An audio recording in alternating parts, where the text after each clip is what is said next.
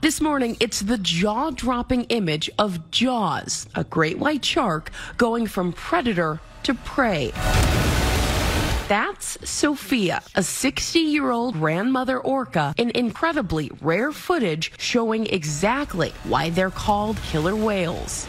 Brain was perfect. Part of the Nat Geo limited series Queens. Orca are, are very smart animals. They're very powerful and and in some cases probably even more powerful than a white shark. I think what we're seeing is is probably an anomaly. We often think of white sharks as being the top predator in the ocean when actually orca are.